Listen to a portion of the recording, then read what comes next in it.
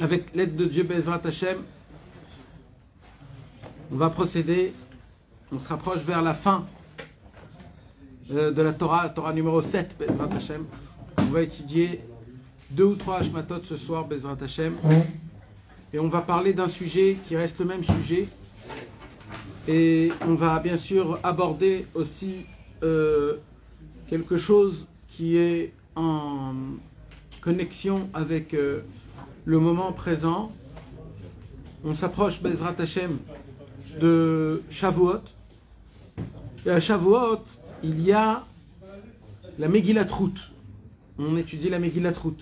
Et comme par hasard, par providence divine, dans, une des Hashmatot, on parle aussi de la Megillat Ruth. Donc c'est quelque chose qui, va, qui touche et qui relie Mamash Bismano comme il faut, Bezrat Hashem. Donc c'est bien qu'on va en parler de toutes ces choses-là euh, à ce moment présent. Euh, quelques petits points, comme ça on, on essaye de se remettre, Bezrat Hashem.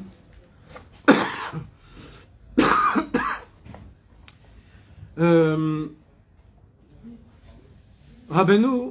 il nous a appris dans la Torah numéro 7 que pour qu'on puisse euh, euh, construire notre émouna, pour qu'on puisse muscler notre émouna, la émouna que tout vient d'Hachem et que tout ce qui se passe, ça vient, c'est pour le bien, et que partout il y a des étincelles divines qui touchent et qui font vivre tout ce qu'il y a dans le monde, et au moment où je crois qu'il y a une autre force dans ce monde-ci, malheureusement, ça s'appelle le piroud, c'est-à-dire l'inverse de l'unicité d'Hachem. Un juif, il doit vivre dans ce monde-là depuis qu'il est né jusqu'à la fin de sa vie, avec une pensée, avec pas une pensée, mais plus une, vitalité qui vit et qui, qui se donne de la force du jour en jour, à travers sa prière, son étude, son mariage, ses enfants, le travail, à travers tout ce qu'un homme y passe dans sa vie, il doit essayer de toujours essayer de rattacher, de coller la parole d'Hachem en essayant de se conduire comme un vrai juif, comme ce que Akadosh Baruch veut. Maintenant, ça se trouve surtout quand la Emouna, c'est quand des fois malheureusement il y a des choses, des moments qui sont difficiles. Là, là, la Emouna, elle commence à prendre le, le reflet et c'est à ce moment-là même où on doit essayer d'utiliser le maximum cette émouna qui est, qui est dans notre cerveau, qui est dans notre cœur, et, essayer de, de, la travailler au maximum pour ne pas tomber dans le panneau et de croire que, merci, et de croire que, malheureusement, le monde aujourd'hui, tu peux t'arranger, tu peux faire comme toi tu crois, mais s'appuyer à Kadosh Baruch en priant, en espérant, et, et en s'attachant au tzadikim et à la Vodat Hashem pour que toutes les autres choses puissent avancer. Le problème, c'est que la Emouna, elle est trop trop grande. La Emouna, j'arrive pas à la voir. Pas toujours on peut avoir la Emouna. Parce que des fois, tu sais pas dans quoi il faut avoir la Emouna. Tu sais pas comment. Comment je fais pour me rapprocher de la Il dit Rabbi Nachman. Comment je fais pour que je puisse toujours vivre Hachem et que je ne vis pas le conflit, que je ne vis pas le, contraire de Akadosh Baruch Comment il dit Rabbeinu? C'est avec le Emet. Emet et Emouna sont toujours ensemble. Comment on fait Il dit Rabbeinu, il faut se rapprocher des tzadikim, des tzadikim amitim, et ça suffit pas, il faut aussi prendre des conseils des tzadikim amitim. C'est pas juste de se rapprocher, c'est aussi de puiser de eux leurs conseils. Leurs conseils de quoi De comment je dois me conduire dans ma vie personnelle, comment je dois réagir, comment je dois visionner. Et ça, c'est à travers les livres qu'ils ont laissés les tzadikim. Si je connais pas de tzadik, c'est à travers les livres. Il y a assez, assez de conseils chez les tzadikim, les vrais tzadikim, qu'ils ont laissé des conseils spécialement pour des personnes comme nous, qu'on est là perdus, sans, sans, sans que personne nous dise qu'est-ce qu'il faut faire et comment il faut faire. Il dit Rabbi Nachman, il y a un concept qui est, qui est très spécifique. Au moment où un juif, un homme, il commence à lire le conseil du tzaddik ou recevoir le conseil du tzaddik, il se passe quelque chose de très très fusionnel, comme un mariage, une union. Au moment où je prends le conseil, c'est-à-dire je, je l'admets, je le, je le fais rentrer en moi, à ce moment-là même, c'est comme si je reçois une semence de vérité du tzaddik, et il y a un, comme un, un, un, consentement, on dit, comme un consentement, et grâce à ça, j'ai la possibilité d'enfanter l'action que j'avais dans ma émouna. Ça veut dire, ça veut dire la émouna, c'est quelque chose qui est dans la tête. J'ai une émouna, j'ai une je ne sais pas comment je vais faire, je dois de l'argent, ou alors euh, ça ou ça ou ça, et je fais ce que je peux, et le reste, je mets ma tête sur Hachem, je m'appuie sur Akadosh Hu, je prie Akadosh Hu, et je laisse Akadosh Hu faire les choses. Maintenant, ça suffit pas, parce que des fois c'est compliqué, comment je vais faire? Et, la pensée toujours, elle, elle est là à te trotter dans ta tête. Alors, tu vas, tu vas dire, je vais prendre un livre et je vais essayer de trouver un conseil. Un conseil sur l'aïmouna. Tu prends le livre conseil, par exemple, et tu ouvres le Hémet et l'aïmouna. Tu commences à voir qu'est-ce qu'il y a écrit sur l'aïmouna. Tu essayes de prendre des conseils, comment se renforcer. Après, dans le renforcement, après, dans, dans Savlanout, dans, dans, dans, dans Patience. Parce que dans le livre conseil, il y a plein de thèmes qu'un homme, il peut surfer d'un thème à un autre thème pour essayer de, de se maintenir fort dans l'aïmouna et de ne pas tomber. Au moment où j'accepte le, le, conseil que le tzaddik me donne, au moment où je lis le conseil que le tzaddik me donne, à ce moment-là même, il se passe un fusionnement, une nit cacheroute, c'est-à-dire un attachement qui est très très fort, comme un homme et une femme, où je reçois son conseil, le conseil du tzaddik qui sort d'où? Il sort de son cerveau, comme la goutte qui sort du cerveau. Et grâce à ça, ça rentre en moi et ça me rentre dans mon cerveau, je le fais rentrer dans mon cœur et grâce à ça, ça crée cet enfantement de quoi? De la délivrance de mon problème que j'avais et que je devais me renforcer dans la Emouna. Comme ça, ça s'appelle une Yeshua, c'est une délivrance. Plus un homme il se renforce dans la Emouna, plus il a de la délivrance. Comment il se renforce dans la Emouna Avec le Emet. C'est quoi le Emet C'est quoi la vérité La vérité, c'est un conseil vrai. Kulozera Emet. Et on a étudié déjà, c'est pas la peine de répéter. C'est quoi qu'on peut appeler Emet dans ce monde-ci, à part Hachem Hachem, Elokechem, Emet. À part Hachem, c'est quoi qu'on peut appeler C'est la Torah, que la Torah, le Zohar Akadosh, il appelle, au lieu de dire les 613 mitzvot, il appelle les 613 conseils. Pourquoi? Parce que le tzaddik, il arrive à nous interpréter la Torah qu'on connaît en état de conseil. Toi, tu lis la Torah, alors tu lis une histoire. Tu lis une histoire avec Adam, Ève, Noir, le déluge, Avram, Yitzhak et Jacob. Et toi, tu crois qu'il y a une histoire, pas plus que ça. le tzaddik, il a la possibilité, ce qui fait le tzaddik, c'est il prend la Torah, il prend l'histoire, et il arrive à te faire montrer les conseils émettent qui sortent de ça. Alors, ce qu'on va voir ce soir, Bezrat Hashem, on va voir, Mamash, dans la Torah, les conseils que le tzaddik nous a donnés, d'après tout ce qu'on a étudié la Torah.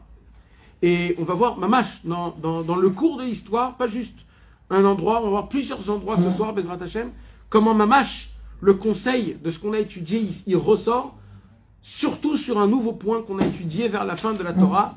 Rabbeinu, il nous donne un seul conseil pratique, Mamash, à faire dans cette Torah, ce seul conseil pratique que Rabbeinu nous donne, c'est de, faire attention à la mitzvah de tzitzit.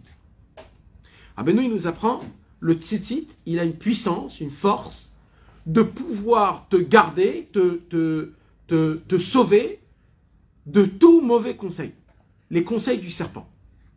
Parce que de la même façon qu'il y a une possibilité de prendre un bon conseil d'un tzaddik et grâce à ça il y a des bonnes choses, de la même façon, il y a aussi que tu prends un conseil, shalom, d'un homme qui n'est pas pur dans sa pensée, qui n'est pas goum dans le brit. Et comme un homme, il n'est pas goum dans le brit et c'est le cerveau, alors les conseils qu'il va te donner, il se passe aussi un consentement, il y a comme un zivoug avec shalom. Et ça, c'est du niouf, ça, c'est de la débauche. C'est de la débauche qui est spirituelle, c'est quand un homme, il se rapproche d'un homme qui est un menteur, qui n'est pas sincère avec Hachem, pas sincère avec soi-même, il n'est pas, pas sincère. Et en plus de ça, il est sali, son cerveau il est sali. Même qu'il est gentil, c'est aucun rapport. Même qu'il veut te donner un conseil, il est gentil, il fait pas pour... Euh, il, veut te faire une tova. Rabbeinu, il dit, il faut faire très attention de prendre pas de conseil de personne, de personne, de personne de vivant. Personne vivant peut te donner un vrai conseil que tu as besoin. Personne, personne, personne, personne. Il faut savoir, il faut l'apprendre. Et il faut, mes amis, il faut bien se le faire rentrer. Personne n'est apte de te donner des conseils aujourd'hui. Les seuls conseils qu'on peut prendre, c'est des tzadikim qui sont partis de ce monde, qui ont laissé leur, leur, ils ont laissé leur, leur, leur semence de vérité, qui était leur cerveau, qui était propre, qui était pur, qui était tout blanc, qui était, qui était, et ça, il donne un, un- un conseil qui est 100% qui est pur, et tu sais que tu ne peux pas te tromper. C'est conseil dans la Bouddha d'Hachem ou dans tout Alors, ça va dans les deux côtés. Parce que même les problèmes dans la Vodat Hashem, même les problèmes de ce monde-ci, la racine, elle est dans la Vodat Hashem. C'est comme ça que ça fonctionne. C'est toujours un qui va devant l'autre, tout le temps. Donc il faudrait s'efforcer, en fait, de littéralement de poser le moins de questions pour avoir des conseils. C'est une, une bonne attitude à avoir. Ça serait idéalement de ne pas demander conseil. En tout cas, à, Alors. personne lambda. quoi, je dire. Alors, de base, de base, c'est certain que les personnes vivantes aujourd'hui qui n'ont pas un niveau de pureté et de sainteté, le conseil qu'ils vont te donner, il ne sera jamais 100% émettre. Tu peux le prendre, le conseil. Mais sache que tu vas, il y aura des dégâts. Il y aura des dégâts, quoi qu'il se passe. Maintenant, maintenant, en, en spirituellement, c'est encore plus, plus grave. Matériellement, c'est chacun en fonction de ce qu'il pose comme question. Alors, qu'est-ce qu'il faut faire alors? Parce que c'est quand que je demande conseil? Quand j'ai un problème. Quand, j'ai un vrai problème, quand je dois avancer, il faut, il faut que je prends à droite, à gauche, il faut, que- il faut que je m'arrête, il faut que je continue, il faut, il faut que je fasse quoi? Même tout, même tout le temps, ça change. Par exemple, ce que j'étudie maintenant, c'est ce que je dois étudier. Spirituellement, Nahon. Spirituellement aussi. On a besoin tout le temps. Nahon. On a tout le temps. Nahon. Avec tes enfants, quand ils te demandent des conseils. Et le conseil d'aujourd'hui, c'est pas celui de demain. Nahon. Alors, alors on a- si vous vous rappelez bien, mes amis, on avait lu un conse- un- un- une lettre de Rabbi Nathan. Dans la lettre de Rabbi Nathan, on avait lu là-bas que le seul conseil, le seul conseil qui existe, qu'on peut donner, c'est Amten. C'est patience. Il dit Rabbi Nathan, l'essentiel problème, il dit Rabbi Nathan, l'essentiel problème, il dit Rabbi Nathan, de, des problèmes, il dit Rabbeinu, c'est quoi? C'est qu'on veut tout de suite avoir une solution. Il dit Rabbeinu, et ça, ça n'existe pas, c'est du pipeau C'est du pipeau, il dit Rabbi Nachman, c'est faux. On vous vend du mensonge. Les films, les, les séries, comme quoi il y a une solution, les, les, les, les coacheurs qui te donnent des nouveaux coachings, euh, fais comme ça, t'auras... C'est faux, il dit Rabbeinu. C'est juste un travail de patience. Et il dit Rabbeinu, et ça c'est le plus dur, c'est, de, de patienter. Et qu'est-ce qui se passe quand tu patientes? C'est parce que patienter d'un côté, ça peut être appelé aussi. Quelqu'un m'a posé cette question. Patienter peut être aussi une efkeroute. Comment ça s'appelle une efkeroute Un laisser aller. Oui, parce que parce que tu peux te dire, écoute, moi, je sais pas moi, moi je vais, euh, je laisse toi Hachem dans les mains d'Hachem et Yetov, comme on dit, ça sera bien. Ok, ça, ça, ça, ça s'appelle un vrai laisser aller. Pourquoi? Parce que le monsieur en fait il est euh, euh, euh, faible, il a la Fainéant. la fainéant. Le monsieur il est fainéant. Alors et alors il, s'appuie sur le dos d'Hachem en disant moi j'ai. Rabbeinu il dit ma pitom. Il y a, le travail il est puissant. C'est quoi le travail? C'est de se renforcer dans la patience. c'est tout. Et, et c'est quoi d'être patient? C'est ça et c'est ça qu'on avait étudié dans la, dans la lettre. Il dit Rabbi Nathan, le, le symptôme de la patience, que tu es toujours en patience, c'est que tu continues à prier. Mais ça, mais ça, mes amis, mais même dans le travail le, le plus simple, même les problèmes de d'argent qui sont sales, même des problèmes de de de de, de facture ou alors il te manque un papier dans la- l'administration, même même des choses simples. Je vous parle de même des choses les plus simples possibles. Akadosh Hu, il nous parle à travers les plus petites choses qui existent dans le monde. Celui qui croit qu'Akadosh Hu, il est que dans la Vodat Hashem et pas dans l'administration des de, de, le et à, la banque et le Rachmal et les trucs, alors c'est un coffre. Akadosh Baruch il est là-bas, il nous parle là-bas. Il veut qu'on soit là-bas qu'on, et, et qu'on reste des gens calmes, et qu'on reste posés, qu'on s'enflamme pas, qu'on ait la émouna que tous ces Akadosh Baruch. Et il faut pas, il faut pas rentrer dans, dans le système et, et perdre complètement les pédales. Quand tu comprends qu'en vérité le conseil, parce que c'est c'est comme une semence. Vous savez, mes amis, la semence, quand, quand- pour avoir un enfant, c'est- c'est c'est tout un talir. Comment dire un talir? C'est tout un, c'est un processus qui est énorme. Il commence par le cerveau. Il descend de, de la colonne vertébrale. Chaque seconde, chaque millimètre qui descend dans la colonne vertébrale, il prend des énergies du corps, du, de tous les côtés. Au moment où il arrive jusqu'en bas, il rentre dans, dans les clayotes. Comment on dit les clayotes les... Dans les reins. Dans les reins, il se, il se, il se, il se forme, il, il devient encore meilleur. Il, il, se- fructifie, il devient plus fort. Après, il va dans les testicules. Et là-bas aussi, encore plus. Il reçoit encore plus de... de et, après, il retourne. Il re... C'est toute une histoire. Nous, on croit que c'est juste comme ça. Le conseil, c'est pareil, les gars. Le conseil, tu ne peux pas poser un problème et recevoir un conseil. Ça prend du temps. Dès qu'un homme il a un problème, il y a un processus dans le ciel. C'est quoi le processus? Un tel a besoin d'une solution. Maintenant, on va voir comment ça fonctionne. S'il commence à ouvrir des livres, alors le conseil commence à se préparer, commence à se fructifier petit à petit? Et toi, dans ton avodat Hashem, dans ta shacharit mincha arvit, petite tzedaka, tikkunet lali, tu fais un petit truc. Chaque chose que tu fais, le conseil il prend forme, il prend forme. Tu te renforces dans le Emet et dans la Emouna, le conseil devient encore plus fort. Et plus tu dis, Anima Amin, Bemouna Shlema, j'ai la foi en toi Hachem, j'ai la foi que tu vas m'aider Hachem, j'ai toujours foi en toi, plus tu dis, plus le conseil devient puissant. Et au moment ve- venu, le conseil il sera là, mamache, vraiment, pas avant, pas après. C'est comme ça. Maintenant le problème, c'est la savlanoute, c'est de pouvoir patienter. Mais Rabbi Nachman, il nous donne donc un conseil, le, conseil idéal dans cette Torah, le seul conseil pratique que Rabbeinu nous apprend. Qu'est-ce que je peux faire moi pour l'instant pratiquement? Qu'est-ce que je peux faire? Il dit Rabbi Nachman, c'est le- la mitzvah de tzitzit. C'est quoi la mitzvah de tzitzit? Alors je répète mes amis, vous savez tous les jours, on a, on- il y a les mitzvot de Horaïta, il n'y en a pas beaucoup tous les jours. On fait plein de mitzvot de Rabbanan, on fait plein de mitzvot, mais des mitzvot de, de, de Horaïta, c'est-à-dire des mitzvot qui sont mamash de Horaïta, il n'y en a pas beaucoup dans la journée. Ça veut dire, les peu de mitzvot de Horaïta qu'on a, ils sont, il faut, il faut les, les apprécier. C'est pas stam, c'est mamash de Horaïta. Par exemple, c'est quoi une mitzvah tassée de Horaïta? Alors déjà, d'abord Kriyat Shema, déjà on sait que c'est une mitzvah tassée de Horaïta. Si on dépasse le temps de Zman Kriyat Shema, on fait plus la mitzvah tassée de Kriyat Shema. Donc on la perd. Donc on a la mitzvah de d'abord avant Talit, Tzitzit. Mitzvah Tzitzit, mes amis, c'est une mitzvah tassée d'Oraïta. La Torah nous dit un habit qu'il y a quatre euh, franges, il faut mettre des tzitzit. Euh, quatre euh, points, il faut mettre des tzitzit. Maintenant, à part de ça, on met le talit gadol quand on prie le, quand on prie, c'est une mitzvah de mettre. Ces deux mitzvahs-là, c'est des mitzvahs tassés d'Oraïta mamash. Mitzvah filin aussi, c'est une mitzvah tassée d'Oraïta. Mitzvah Shema, on a dit. Celui qui mange du pain, il fait birkat Amazon. Et aussi de prier, c'est une marloquette ici, une mitzvah tassée d'Oraïta. Limut Torah, si tu étudies, c'est une mitzvah tassée de Horaïta. Euh, après, il faut les chercher après. Après, il faut les chercher. Kibbutz Avaim, si tu fais, mais j'espère que non. Euh, euh, Gmilut Rasadim, pareil. Euh, tout le reste, tu verras que ce n'est pas des mitzvot que tu fais tous les jours. Tout le reste, c'est des mitzvot qu'il faut que tu ailles les chercher. Donc, voilà, donc, en fait, des mitzvot assez de il n'y en a pas beaucoup. Une des mitzvot assez de mes amis, quand on met le talit, le talit, ça a été fait spécialement pour que le talit, il t'entoure complètement. D'où on apprend ça? D'où on apprend que le talit, sa mitzvah à lui, c'est de, de mettre mamash. Vous savez, il y a des gens, hein, les pauvres, ils savent pas en France. En France, il y a le talit qui est en fait une écharpe. C'est, euh, bleu, blanc, là. Tu mets l'écharpe comme ça, euh, euh, soi-disant sympathique. Alors, alors, en vérité, ça, mes amis, c'est rien du tout. C'est- rien du tout. C'est même pas, même pas.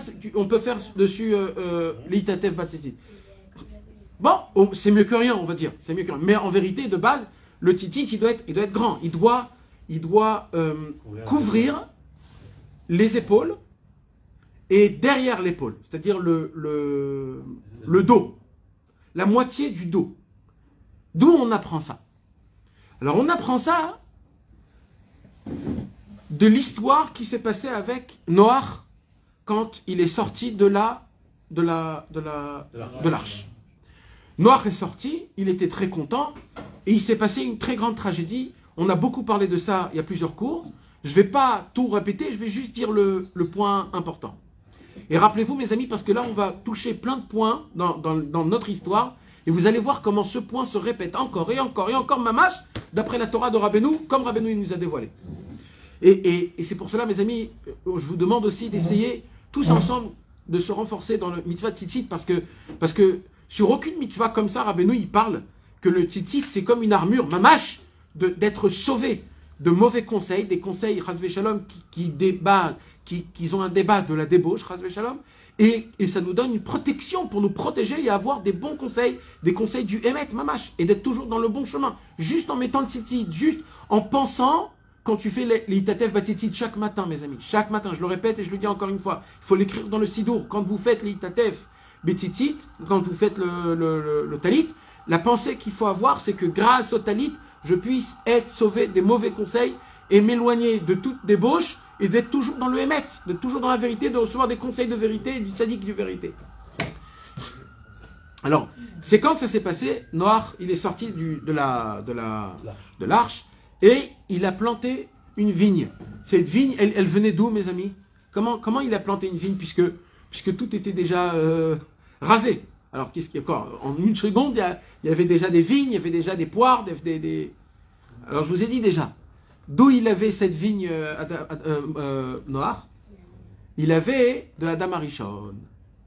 Adam Arishon, il y en a qui disent que le, fruit qu'il avait mangé de, de de l'arbre de la- de- du Etzadat Tovera, il y en a qui disent que c'était une vigne. C'est la raison pour laquelle tous les Shabbats on fait le kidouche sur du vin pour réparer la faute, parce que la faute elle s'est passée vendredi après-midi. Donc comment on répare la faute? En faisant du kidouche sur le vin. On le fait cette fois-ci avec doucha, avec tahara, et c'est une sorte de réparation. C'est pour ça que c'est important que le vin soit rouge, etc. Ça enlève les dynimes.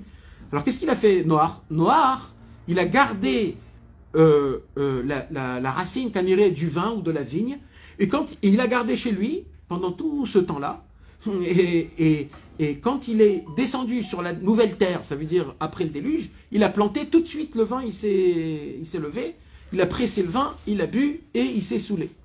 Quand il s'est saoulé, il s'est passé quelque chose de très grave, c'est qu'il a enlevé ses habits, il est devenu tout nu et il a fait des choses pas bien, des choses qui n'étaient pas bien. Il est tombé dans, dans la débauche un petit peu. Et là, et là, il y a eu, il avait trois enfants, Shem, Ham et Yefet. Et, et comme ça, le Midrash il raconte que c'était du Etzadat. C'est pour ça qu'il est tombé dans la même faute que Adam Arishon. Il a fait la- les mêmes problèmes que, que ce qu'il avait fait Adam Arishon, malheureusement. Sans rentrer dans les détails, parce que c'est c'est pas la peine. Alors, qu'est-ce qui s'est passé? Ham, il a vu son père, tout nu, dehors, en train complètement ivre. Il a commencé à rigoler avec lui. Il a commencé à sympathiser avec lui, à se taquiner, à commencer à faire des mauvaises choses. Et il a vu, malheureusement, il a vu euh, euh, les parties euh, intimes, sans problème. Maintenant, c'est très grave qu'un fils, il voit les parties intimes, Bichlal, et les parties intimes de son père encore plus. Il y a écrit dans la halakha que c'est pas très bien d'aller au mikvé avec son papa. Faut que d'abord le, fils il aille, ou d'abord le papa il aille, après le fils il peut y aller, ou euh, ils doivent se cacher, ils doivent mettre... euh, Parce que c'est- interdit qu'on... Mais à plus forte raison, là-bas on nous raconte qu'il se sont passées des choses plus graves que je ne veux pas mentionner, et, malheureusement Ham est tombé très, ga- très bas, avec Noir qui est tombé très bas dans la débauche, tout ça à cause, cause qu'il avait bu. Dès que Shem et Yafet, ils entendent des rires de loin, ils voient de loin quelque chose de pas bien, qu'est-ce qu'ils ont fait? Alors la Torah, elle nous dit comme ça. La Torah, elle nous dit comme ça.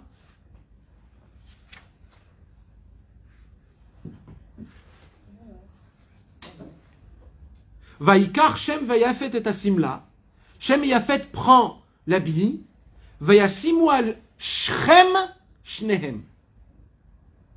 Vayasimu al Shrem Shnehem. Ils ont pris cet habit et ils l'ont mis où? C'est quoi Shrem? Non.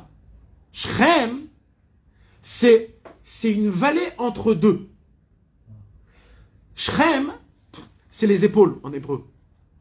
Il y a deux épaules, et au milieu des épaules, c'est Shrem.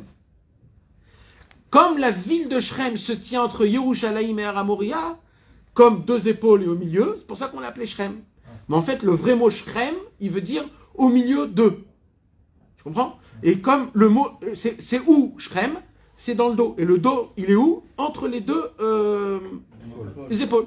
Donc, qu'est-ce qu'ils ont fait Shnem. Ils ont pris l'habit, ils ont pris l'habit, ils l'ont mis, ils étaient par derrière pour ne pas voir. Donc, quand ils étaient par derrière, ils ont mis la- l'habit dans leur dos. Et comme ça, ils se sont rapprochés par derrière. Et en se rapprochant par derrière, ils ont couvert Noir. Et grâce à ça, ils n'ont pas vu euh, la brite et ils l'ont arrêté de sa faute.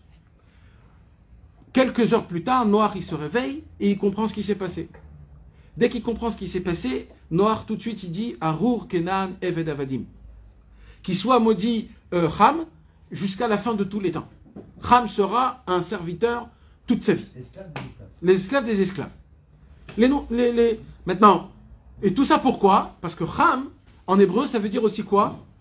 Chaud. Et c'est quoi la chaleur? C'est la chaleur de, de la débauche, de, des passions sexuelles. Quand Chazvé Shalom, le sang, il est, il, il est chaud. Alors une personne... Donc lui, lui, Ham, c'est, le symbole du Bgamabrit. Ram, c'est le symbole du Bgamabrit. C'est, connu même aujourd'hui, ces choses-là. Ouais. Donc, maintenant, il y a Shem et Yafet. Shem, c'est nous. Et Yafet, c'est quoi? C'est la beauté. Yafet. Yafet, Yafet. C'est étonnant que lui, il, a- il est- protégé son père. Shem et Yafet, Bevadaï. Parce que, En fait, c'est étonnant. oui, non. Yafet, leur, leur, leur, euh, là où ils tombent, c'est pas dans les, c'est pas dans la débauche. Non. Yafet, c'est pas dans la débauche. Yafet, c'est dans deux choses. Dans ce qu'on appelle beau.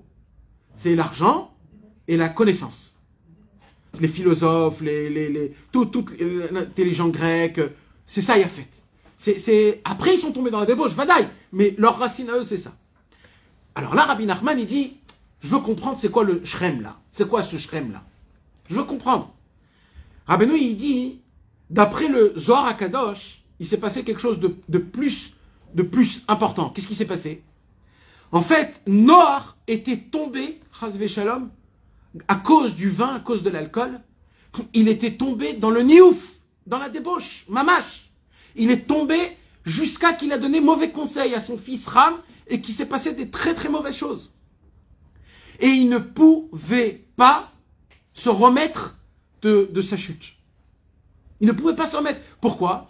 Parce que de la même façon, qu'est-ce qu'on a dit? Quand un homme il reçoit un conseil de quelqu'un qui est mauvais, à cause de ça, il se passe quoi? C'est comme si qu'il y a un, un zivouk, c'est-à-dire comme si qu'il y a un, mariage, et, là, il y, a, il, y a un, il y a un consentement, il y a un bébé qui doit sortir de ça.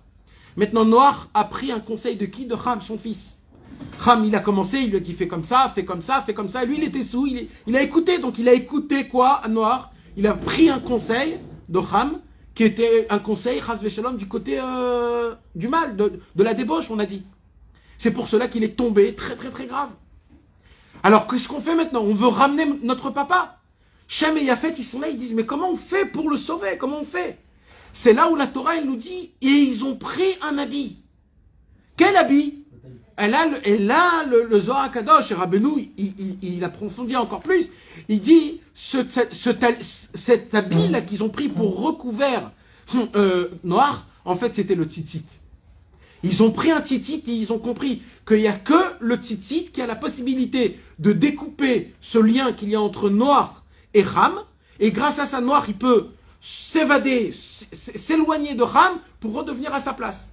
Il avait déjà le titit avant le don de la Torah. Hein Eux, ils connaissaient déjà le titit avant le Oui, oui, bien sûr. Bien sûr. Et, et, et, et c'est- et il dit Rabbeinu, et pourquoi, pourquoi on sait ça? On dit parce que on apprend ça d'un autre shrem. On apprend ça d'un autre shrem. Donc, avant qu'on avance, est-ce que vous avez compris, mes amis, que vous savez, ce qui s'est passé avec Noir, c'est exactement pile poil comme Adam Arishon? Parce que qu'est-ce- après Noir, il y avait quoi? Le monde a été détruit, donc il a été refait. Comme Adam Arishon, le monde il a été créé, tout de suite il, y a une euh, Noir. Le monde il se recrée après le balagan. Première heure, encore une fois, il se passe le même euh, délire. Cette fois-ci, Noir, il avait le tzitzit. Grâce au tzitzit, il a pu ne pas, délirer complètement comme Adam Arishon. Donc en fait, ce tzitzit-là, Adam Arishon, il n'avait pas encore le tzitzit. Il n'avait pas encore. On a dit que Adam Arishon, c'est Emet Vemuna, Adam et c'est un autre ignan. Mais Noach, il a, eu le mérite, grâce à Shem et que le tzitzit puisse le sauver du Bgamabrit et le ramener dans le bon chemin.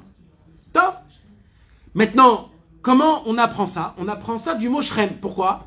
Parce que euh, Rabbeinu, il dit pourquoi ils ont mis la, la, cet habit-là sur le Shrem? Pourquoi ils l'ont mis sur le dos? Il- Juste, il suffit de prendre l'habit, et voilà. C'est quoi cette, euh, cette, euh, cette notion que la Torah nous met? Shrem. Ils ont. Il dit Rabbeinu, non. C'est quel habit qu'on est obligé de le mettre sur le dos? C'est le talit. De la même façon que le talit. Tu dois être mitatef. C'est quoi mitatef? Tu dois t'envelopper comme, comme les, les Arabes, qui, comme les Ishmaélim, qu'eux, ils s'enveloppent. Comment ils s'enveloppent? Ils, ils, ils, re- ils quand on prend le talit, et on vient, on met, on met sur la tête, après on lève le talit d'en bas, ça s'appelle shrem, et là on le plie et on le fait monter. Et après on le met sur les épaules. Il est tout le temps sur nos épaules. La Torah, Rabbeinu, il dit la Torah nous a précisé que cet habit était sur le dos pour nous faire montrer qu'en fait c'était pas Stamanabi, c'était le tzitzit, et, et c'est le tzitzit qui a sauvé Noach de, de là où il était tombé.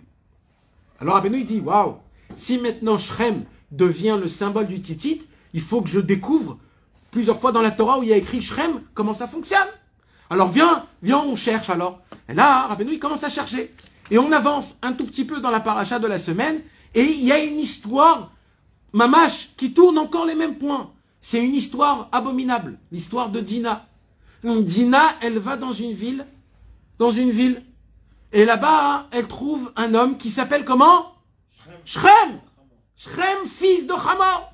Ni plus ni moins. La, la, personne en, elle-même. Maintenant, Shrem, lui, c'était pas, c'était Ben Hamor, c'est Shrem Ben Hamor. C'est le Shrem, fils du Hamor. Hamor, c'est ce qu'on étudie dans Rabbah Barbachana, les, les, les Hamorim Levanim, les, les, comment on dit les Hamor, les, les ânes blancs. On avait expliqué tout ce que c'était les ânes blancs. Et, là, c'est le Shrem de l'autre côté. Lui, c'est le Shrem. Alors, qu'est-ce qu'il a fait cet imbécile-là? Comme c'est de l'autre côté, au lieu que son nom lui porte Mazal et qu'il lui donne une puissance dans l'Akdoucha, alors il est allé dans Chazve Shalom, il a fait quoi? Il a défloré Dina, la fille de Yaakov, ni plus ni moins, qui fait partie des douze tribus. Tout l'homme Israël qui doit descendre de Dina, normalement on devait descendre de Dina. Mais apparemment, tous les enfants de Dina, ils ne font pas partie des douze tribus pour ce problème, d'une certaine façon. C'est pas exactement comme ça, mais ça veut dire il y a eu, il y a eu un, un, problème où on a coupé le cordon, où il n'y avait plus de Kécher. Dina, elle fait pas partie des douze tribus, Kaviachol. Il y en a qui disent que oui, parce que Dina, elle s'est mariée avec Réhouven, il y en a qui disent qu'il s'est marié avec euh, Ménaché Ephraim ou Yosef. On va pas rentrer dans les détails, mais en, gros, en gros, Shrem a maintenant, Chazve Shalom, il y a plusieurs façons de, faire quelque chose de mal à, une femme. Il y a une, façon qui fait mal, et il y a une façon qui est, qui est qui est à l'envers, qui fait encore plus mal. Et, comment, il, a fait du mal à la fille de Dina De la façon qui, est, qui, fait encore plus mal. Ça veut dire, il n'a pas juste sali, il a aussi sali le nom, il a sali, il a, sali très gravement, on va dire. Et qu'est-ce qui se passe? Cet imbécile-là, Shrem, il vient devant Yaakov et il dit à Yaakov, Yaakov, moi je crois que je veux me marier d'abord avec ta fille. Et en plus de ça, Fais en sorte que nos fils se marient avec vos garçons, vos garçons se marient en, filles. Et là, Yaakov Avinu, au lieu de, le battre et de le tuer à coups à mort, il se Il dit, écoute, on, va réfléchir, mais nous, on ne donne pas, écoutez bien ce qu'il dit Yaakov, nous, on ne donne pas notre fille hein, à quelqu'un qui a la horla sur son brit. C'est lui ou c'est Shimon et qui dit ça C'est Yaakov Avinu.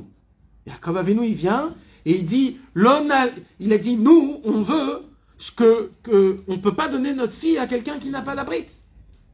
Hum, pourquoi il lui dit ça, Yaakov? En fait, il lui fait un remèze à Shrem. Il lui dit, tout Shrem, c'est quoi? C'est la Shmirat Abrit. Toi, tu es la définition de tout l'inverse. Tu m'as fait montrer que chez toi, il n'y a pas ce Shrem. En fait, y a, euh, Shrem a voulu donner un conseil à Yaakov. C'est quoi le conseil qu'il a voulu donner? Viens, on se marie l'un avec les autres, on se mélange. Et Yaakov a vu, il a compris que s'il prend le conseil, lui aussi il tombe. Shrem, il avait la possibilité de faire tomber Yaakov. Et ça serait répété encore une fois chez Yaakov. Qu'est-ce qu'il a fait Yaakov? Il a dit, non, faut faire la Brit Mila, je vais attendre que mes enfants ils arrivent, on parlera. Eux, ils ont dit, pas de problème, on va tous faire la Brit Mila. Comme Shrem, il a en lui les lettres Shrem, Shin, Rafmem, qu'on va plus voir plus tard, c'est quoi ces initiales, qui en fait référence au tzitzit, ce qu'on vient d'expliquer. Donc il avait cette puissance d'un coup de faire la Brit Mila. Parce que c'est fou un peu. Et tout Shrem, toute la famille de, de Shrem, on fait la Brit Mila. Et là, et comme c'est très grave ce qu'ils ont fait, parce qu'en fait ils avaient qu'une idée dans la tête, c'était de salir le nom de Yaakov et de sa famille. Shimon et Lévi, c'était des Gvurot, qu'est-ce qu'ils ont fait le troisième jour de, la Brit Mila, ils sont venus, ils ont tué tout le monde. Hum, et là, mes amis, même là, Yaakov venu, il n'était pas content. Yaakov venu, il leur a dit quoi? Vous faites, vous ne posez pas de questions, vous faites ce que vous voulez. Vous venez après, ils vont commencer à dire comme ça et comme ça, et les enfants, c'est très grave ce que vous avez fait. Mais, il n'a pas plus, que ça, il n'a pas fait. Mais, mes amis, mais, mais, mais, mais, ce problème qu'ils ont fait Shimon et Lévi de tuer toute la famille de Shrem, c'est une dette que Yaakov Avinu devait garder. Et cette dette-là, elle a été où? Elle a été comment payée? Il dit Rabbi Nachman, cette dette a été payée une troisième fois où c'est encore mentionné Shrem. C'est où que c'est mentionné encore une fois Shrem? Avec Yosef. Qu'est-ce qu'il y a écrit dans Shrem? Il y a écrit, Yaakov Avinu, c'est notre Hashmata de maintenant. Il y a écrit comme ça. Ve-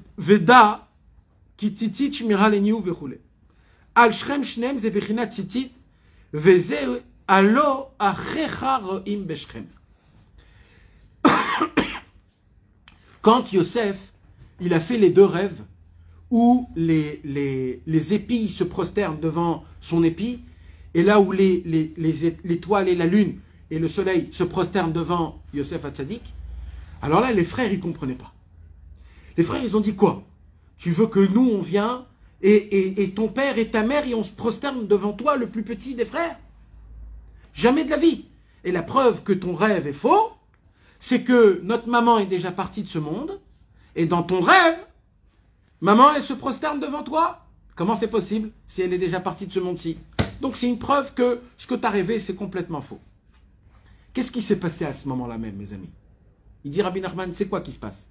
Là, le tzaddik donne un conseil, et là, les, les élèves ne reçoivent pas le conseil. C'est quoi le conseil qu'ils ont donné? Yosef Hatzadik a donné comme conseil, avec en dévoilant ce- ce deux- ces deux rêves, sachez que je suis devenu le Annulez-vous. Maintenant, il faut que vous vous annulez à moi. Si vous vous annulez à moi, on ne descendra pas en Égypte. On ne descendra pas en Égypte. Il n'y aura pas 400 ans. Il n'y aura pas tout ça. Juste prosternez-vous. Juste annulez-vous. C'est très important. Jacob Avinu il a écrit, il était prêt de le faire. Mais il ne voulait pas le faire tout seul. Il voulait attendre que ses autres fils le fassent. Mais le problème, c'est que les, autres fils, ses frères à lui, ils ont dit qui il est lui pour qu'on se prosterne devant lui. Si on va se prosterner, c'est devant Yaakov. Yaakov, c'est le sadique. Mais Yaakov, lui, il savait que Yosef, c'était le sadique. Et qu'il fallait s'annuler au tzaddik. Maintenant, le tzaddik leur donne un conseil et ils font pas. Qu'est-ce qui se passe à ce moment même? Au moment où, Chazvé Shalom, tu reçois pas le conseil du tzaddik, on a dit qu'est-ce qui se passe? Au lieu de recevoir du émet, tu reçois du sheker, tu reçois une semence de, de, de de débauche. Ça devient de la débauche. Et tout de suite après, il s'est passé quoi? Il a écrit quoi? Yaakov Avinu, il appelle Yosef Hatzadik. Il lui dit Yosef, j'ai très très peur. Il lui dit quoi? Allo achecha roim beshrem. Tes frères, ils, ils- ils sont en train de, de faire de- du berger, comment on dit de... Ils sont en train de paître à Shrem. Ça veut dire quoi? Rachid il dit, qu'est-ce qu'ils sont, pas, qu'est-ce qu'ils sont allés faire à Shrem, euh, Yosef Hatzadik euh, Les frères de Yosef. Et Rachid il dit, ils sont allés se parler entre eux comment faire pour tuer Yosef Hatzadik. Au moment où tu ne reçois pas le conseil du tzaddik, tout de suite tu reçois le venin. Tout de suite tu reçois le mal. Tout de suite tu commences à dire c'est pas possible que Yosef c'est un tzaddik, la preuve, il nous a regardé, il a fait du lachanara, il a rajouté, il nous a. Et, plus que ça. Ils étaient neufs, ils ont appelé Hachem et Hachem a complété. Hachem a complété. Ça veut dire que c'était tellement puissant, c'était tellement, tellement puissant qu'ils ont eu cette force d'anéantir Yosef. Et ben, met, ils ont pris Yosef Hatzadik, ils l'ont jeté dans le puits. Et ça, ça a été le gamme le plus grand au monde. Qu'à cause de ça, on a dû, il y a eu, les, les 10 euh, Harugé Malchut qu'ils ont dû payer pour ça. Mais il y a plus beau que ça. Le Zohar Chai, d'Aflamet Vavamud Aleph, le Zohar Chai nous raconte quelque chose de très puissant. Le Zohar Chai nous dit comme ça. En vérité, les douze tribus, ils, étaient combien à condamner Yosef? Ils étaient dix. avec Dieu. avec Dieu. Ils étaient 10. Donc maintenant, il fallait que chacun paye 22 ans. Parce qu'à quel âge ils ont vendu Yosef? 17. À 17 ans. Et quand il est devenu en Égypte, quand il est arrivé en Égypte, et qu'il est devenu le patron de tout le monde, etc., c'était à l'âge de 22 ans. Maintenant, ils ont dû payer 22 ans chacun. Chaque tribu, il a dû payer 22 ans d'esclavage. 22 fois 10, 220. Combien de temps ils étaient, le peuple juif? 210. 210. Maintenant, 10 ans ont été enlevés. Pourquoi? Parce que les 10, ils sont morts en Égypte. Et comme ils sont morts en Égypte, Akadosh Baruch leur a dit, c'est compté comme un an que vous avez déjà fait. Donc en fait, ça sort que tous, ils étaient en exil 20, euh, 210 ans. Que 210 ans, en fait, c'est chaque tribu, des 10 tribus qu'ils ont mis Yosef dans le, dans le puits, ils ont payé 22 ans d'esclavage. Et 10 ans, on leur a enlevé, chacun un an parce qu'ils sont morts en dehors d'Égypte. Au moment où ils ont payé, c'est pour ça qu'il y a écrit Lechu Redou Shama. Il y a écrit, il a dit Redou Shama, descendez en Égypte. Si vous prenez le mot Redou, ça fait combien en hébreu Redou 204, c'est 210. 210. Ça veut dire Akadosh Baruch leur a dit, vous resterez pas plus que 210 ans. Même que moi je vous ai dit 400 ans, ça sera que 210 ans. Vous avez- et après, vous allez payer. Mais, sera, mais ça c'était... Alors, ça veut dire quoi que Ya- Yaakov Avinu, en fait, il lui dit à Yosef, il lui dit, écoute Yosef, moi j'ai très peur. Comme ils n'ont pas pris ton conseil, j'ai très peur de qu'est-ce qui, va leur arriver à eux. Alors, va-toi vers eux. Yosef, il lui dit, mais, mais, ah, papa, je ne sais pas si j'ai cette force de pouvoir les raisonner puisqu'ils sont contre moi. Alors, alors qu'est-ce qu'il lui dit? Alors, Rohim Beshrem. Ils sont où? Beshrem. Ils sont à Shrem. Et, et ça veut dire quoi? Il lui dit, tu te rappelles pas ce que c'est Shrem? Shrem, c'est ce qui s'est passé avec Dina. Shrem, c'est ce qu'il avait pris Shem, euh, Ram, euh, Shem et Yafet pour couvrir euh, euh, Noir. Shrem, c'est la puissance de la Shmirat Abrit. Toi, Yosef Hatzadik, tu as cette puissance.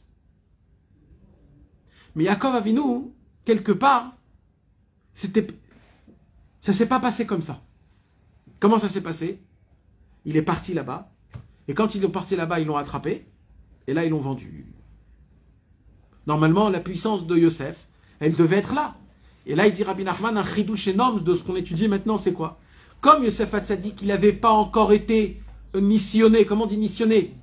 Éprouvé. il n'a pas été encore éprouvé avec la femme de Potiphar. Donc il n'avait pas encore cette, ce niveau de tzaddik qui est Sodolam Shmirat Abrit. C'est pour ça qu'il a dit vache Kadotan.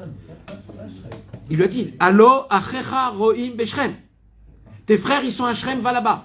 La question qu'on se pose, c'est pourquoi la Torah nous donne l'indication de, Shrem. Qu'est-ce que je m'en fous Ils sont où? Va, chez tes frères. Ah, il dit non. Yaakov, en fait, il lui a dit Tu as la puissance de Shrem. C'est quoi Shrem? C'est la Gdushat Abrit. C'est le tzaddik à émettre. Mais en vérité, il s'est passé quoi? Il est allé là-bas, ils sont tombés, il est tombé. Il a été vendu, et Yaakov il a cru que Bémet, il était... euh, ça, c'était la dette. Ça, C'était la dette qu'il a payée pour Shrem. Maintenant, qu'est-ce qui s'est passé? Il s'est passé que Yaakov Avinu, pendant ce temps-là, Yosef, il a été éprouvé avec la femme de Potiphar. Il a tenu son épreuve, donc grâce à ça, il est devenu comme quoi? Tzadik et Sodolam. Maintenant, il a réparé aussi ses habits. Comment on sait qu'il a réparé ses habits? Parce que, parce que, qu'est-ce qu'il a écrit? Il a écrit que la femme de Potiphar lui a déchiré son habit. Il lui a attrapé son habit. C'est quoi attraper son habit? Elle a voulu s'attraper sur le tzitzit, elle n'a pas réussi. Elle n'a pas réussi à toucher la, la Gdushat Abrit de Yosef Hatzadik. Et grâce à ça, Yosef Hatzadik, il est devenu Yosef ou Amashbir. Yosef est devenu l'homme qui donne la shefa du monde en entier, comme ce que c'est le tzadik, c'est le yesod, c'est là où on reçoit la shefa. Maintenant, mes amis, ça ne s'arrête pas là. Akadosh Baruch il a dit, puisque Yosef Hatzadik est devenu le symbole de la sainteté, de la Shmirat Abrit, de la Gdushat Abrit, et que c'est lui aussi le symbole du titit et du, du conseil qu'il donne, c'est pour cela que Akadosh Baruch Hu, quand il a donné Eret Israël, il a donné la ville de Shrem à Yosef Hatzadik. Ça suffit pas. C'est-à-dire même la ville lui appartient. C'est pour cela que Yosef Hatzadik, il a enterré à Shrem. Pourquoi? Parce que la ville de Shrem, elle lui appartient même dans le niveau. Pourquoi? Parce que le mot Shrem, c'est le mot, c'est le condensé de tout ce que le tzitzit il peut avoir. Parce que le tzitzit, on le met sur le Shrem, c'est-à-dire sur son épaule. Maintenant, c'est ça qu'il dit Rabbeinu ici. Qu'est-ce qu'il dit Rabbeinu? Il dit Aïnou bechinat tzitzit kanal, shishmira leniouf, vu bechinat shmirat abrit, shiprinat Yosef.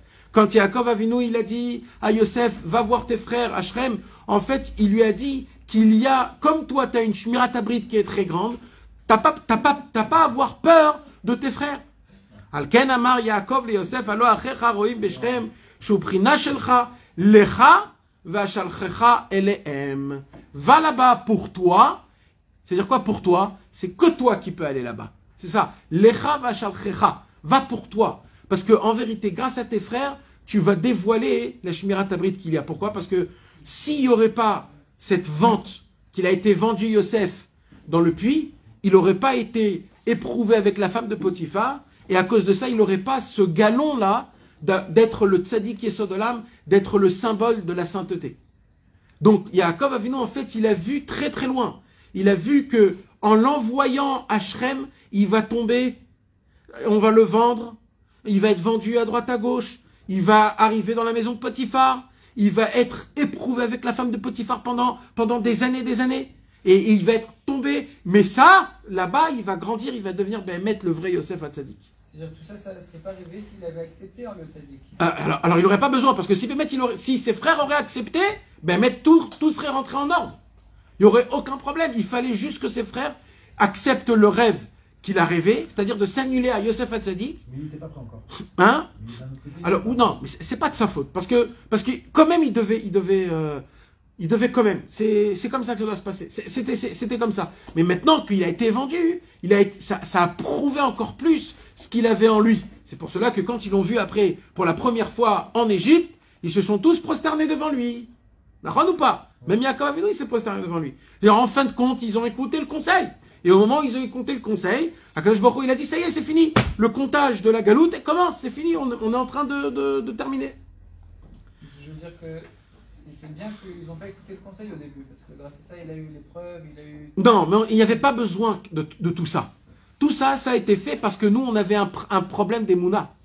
Si on n'avait pas de problème sans ça. Exactement, c'est comme le peuple juif. Le peuple juif, si Moshe Rabbeinu il serait venu, on aurait écouté Moshe Rabbeinu, on serait sorti directement et ça serait fini, on serait rentré en Israël. Mais on l'a pas écouté. Alors d'un côté c'est bien, mais d'un autre côté, il a, il a fait euh, les dix plaies, on a vu la mer qui s'ouvre, on a... Mais d'un autre côté, on était pendant 40 ans en train de tourner dans, dans, dans le désert. Tout ça à cause de quoi? Parce qu'on n'a pas écouté Moshe Rabbeinu directement. Donc, on est toujours bénéficié d'un autre côté, mais, mais c'est de la perte de temps, ça veut dire c'est c'est raval, raval. Le, vo- le voyage pour arriver au même résultat, il, est, il est beaucoup plus douloureux. Et ouais, il est difficile. Et combien on perd pendant ce temps-là? On perd, on perd énormément. Il y a des Neshamot qui tombent. a- Alors, que, alors c'est pour ça, c'est, c'est pour ça, un- jour, Rabbeinu, il a dit une parole, et, et cette parole-là, c'est une parole qui est très difficile. Rabbeinu, il a dit, quand Mashiach va venir, vous croyez qu'il va vous apprendre des nouveautés? Vous croyez qu'il va vous dévoiler des choses que personne ne connaissait? Le Mashiach, Bevadaï, qu'il aura une saga dans la Torah que personne a. Mais ne croyez pas que quand le Mashiach va venir, il va venir vous, dévoiler des, des nouveautés. Rabbeinu, il dit, il n'y aura aucune différence entre moi et le Mashiach, il a dit Rabbeinu. Il n'y a aucune différence entre moi et le Mashiach. Toute ma Torah, il dit Rabbeinu, c'est la Torah du Mashiach. J'ai puisé une- ma Torah à moi d'un endroit qui n'est jamais descendu au monde auparavant. Ma Torah à moi, c'est une Torah de pitié, de miséricorde et, et de, et de. Comment on dit Agréable. d'agréabilité. C'est, c'est matok, c'est doux. C'est une Torah qui est doux. On a parlé de ça. C'est quoi les, les, les maïm metukim On a dit l'eau, l'eau qui est douce. L'eau qui est douce, c'est quoi? C'est les conseils qui sont doux. On a dit le, c'est facile de donner un conseil. Mais le conseil, des fois, il est, très dur d'appliquer. Le, le, tout, tout l'ironique dans l'histoire, c'est de donner un conseil qui puisse être agréable, qui puisse être doux, que, je puisse le faire avec euh, simplicité, avec kiff, avec... euh, Et, et, il a dévoilé une Torah, que cette Torah, mes amis, c'est la Torah du Mashiach. Quand Mashiach, il va venir dans ce monde-ci, et qu'il va rapprocher tout le Ham Israël, il va venir avec le Likouté Moharan, avec le Likouté de Philot, avec le Likouté de Sot, il va nous donner ses livres, il va nous dire, lisez, lisez. Rabbeinu, il dit, vous savez, c'est quoi la seule différence qu'il y a entre le Mashiach et moi? C'est que le Mashiach, on va l'écouter, moi, on m'écoute pas. On m'écoute pas, Rabbeinu, il a dit. C'est pas, c'est pas que je, même le Mashiach lui-même, vous savez que le Mashiach, c'est l'homme qui souffre le plus au monde. Il souffre toutes les souffrances énormes et atroces, atroces. Physiquement, mes amis, physiquement, il souffre des souffrances qui sont énormes. Le, le, la Gemara, il nous dit dans, dans un Midrash, dans Ilkut Shimoni, là-bas, il y a écrit que le, le, le, le tout, qu'est-ce qu'il fait toute la journée? Il change de pansement. C'est-à-dire il est, il est rempli de plaies. Et lui, juste, il change les pansements. Il s'assoit, il attend qu'Hachem lui dise le moment est arrivé. Mais, mais qu'est-ce qu'on a étudié dans notre Torah, dans l'Ikouté Moran On a étudié, qu'est-ce qu'on a étudié au début de la, Torah? Comment, rappelez-nous, il, il commence la Torah Zain, la Torah qu'on compte. Pourquoi, pourquoi on est toujours en exil? Parce qu'on manque de Emouna. Donc en fait, la Emouna, c'est quoi? Le, manque de Emouna, ce sont des menottes qu'on met au Mashiach. Le Mashiach, il, a, des boulets dans ses, pieds, il ne peut pas marcher. On lui a mis des boulets. Comme ça, on dit des boulets qui sont lourds, il ne peut, pas- avancer. Et c'est quoi ces boulets-là? Plus tu as de la plus ces boulets ils deviennent euh, moins lourds et moins difficiles. Mais nous, on est obligé de faire le premier pas qui est la Et comment on a la On a dit grâce au Hémet. Et c'est quoi le Hémet De prendre des conseils des tzadikim amitim. Plus on s'attache au tzadikim amitim, plus le Mashiach il va venir, mes amis. Si on s'attache pas au tzadikim amitim, comme il faut s'attacher Béhémet, d'une manière et d'une façon qui est, qui est, qui est forte et qui est audacieuse, pas, pas, je, fais une tova, pas, euh, comment on dit, euh, ouais, non, non, d'une manière audacieuse, d'aller de, et, de, et de savoir dans tout mon corps et, et mon sang, que ma femme, elle puisse savoir ça, que mes enfants, ils puissent voir ça, que mes amis, ils voient que je suis totalement à fond ancré dans, dans les tzadikim, dans les conseils des tzadikim, attaché à leurs paroles, attaché hum, aux enseignements, à leurs histoires, à ce qu'ils ont fait dans ce monde-ci, à leurs rêves qu'ils ont essayé de, de, nous faire rentrer dans nos yeux. Malheureusement, on est là et, et, et, on prend pas assez de vitamines spirituelles, les gars, on prend pas assez les quantités d'hérésie qu'on prend et qu'on avale dans la journée à travers des WhatsApp et des Facebook et de je ne sais pas quoi, même en, envoyant un mail, même un mail des fois, c'est un truc qui peut te poser, ça te prend toute la journée, c'est, tu sais même pas comment ça t'arrive. Le Yetzirara, son travail, c'est de t'embrouiller, de te prendre ton temps pour ne pas te mettre ton temps là où il faut mettre. Rabbeinu, il dit, je vous demande pas beaucoup. Je vous demande, ayez foi dans la Torah, dans les tzadikim et dans Hachem. Ayez foi en moi, il dit Rabbi Nachman. Hum, moi, il dit Rabbi Nachman, je fais partie des tzadikim qui sont descendus dans le monde, pas parce que eux, ils devaient être des tzadikim. Je suis descendu dans le monde que pour vous. Chacun, il a un but dans sa vie. Son but, c'est quoi? C'est de devenir quelqu'un, de devenir un tzadik, c'est de faire quelque chose dans le monde. Le but du tzadik, lui, c'est pas de devenir un tzadik. Le but du tzadik, c'est nous. Tant qu'on n'est pas des balais de à Mitiim, le tzaddik n'a pas fait encore son but pour lequel il est venu dans le monde. Nous, mes amis, à chaque pensée, chaque hirour de teshuva, chaque action, chaque teilim, chaque chose que tu fais, ça donne encore de la force au tzaddik pour que le tzaddik te donne encore de la force de la Il faut renforcer la Un jour, quelqu'un est venu chez Rabbi Israël. Et, il a raconté à Rabbi Israël que, que Baruch Hashem, Rabbi Israël, j'ai fait plein, plein d'heures de l'écouter de Philote aujourd'hui, j'ai fait plein de l'écouter de Philote et Baruch Hashem, ça fait plusieurs jours que je lis beaucoup du l'écouter de Philote. Et Rabbi Israël, il lui a regardé et il lui a dit très clair et très séquement Aïkar ou les Amin C'est bien de faire du l'écouter de Philote, mais il faut croire dans tes prières. Il faut croire que quand tu demandes des choses, nous on croit que les prières et nos demandes et notre ibodédoutre et notre émouna, c'est qu'une ségoula. Peut-être oui, peut-être non, je sais pas, je fais. Rabbeinu il dit non, non et non. Non, complètement non. Faut croire dans ce que vous faites. Je vais vous raconter quelque chose de personnel, mes amis. J'ai eu un flash hier, ou avant-hier pour moi, c'est le ridouche de l'année, pour moi. Mais maintenant, personnellement. Vous savez, cette année, c'était une année qui était très difficile pour tout le monde. Et, et cette année, et, des fois, quand tu es dans, le désespoir, quand tu es dans pas bien, alors t'as pas toujours, t'as pas des bonnes idées, t'as pas, t'es dans le noir. Quand tu es dans le noir, malheureusement, tu respires du noir et tu avales du noir et tu rôdes du noir, malheureusement. Eh oui.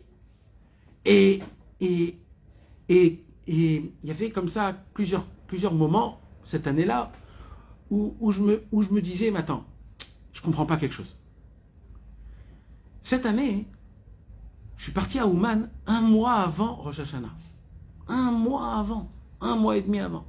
C'est hyper dur. T'as as une femme, t'as des enfants, je sais pas, il y, a, tout un. Maintenant, je suis parti un mois avant parce que parce qu'on savait pas si ça va être fermé, si ça va être ouvert. Alors je me suis dit, tu sais quoi? Allez, je fais, je fais une de nefesh.